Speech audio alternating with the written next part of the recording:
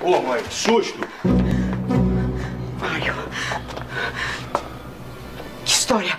Que história é essa que a Vanessa me contou? Me diz que não é verdade, Mário. Me diz que ela tá mentindo, que você não vai casar com ela. É verdade, mãe. Eu e a Vanessa estamos apaixonados. É mentira, Mário! Você não ama aquela menina.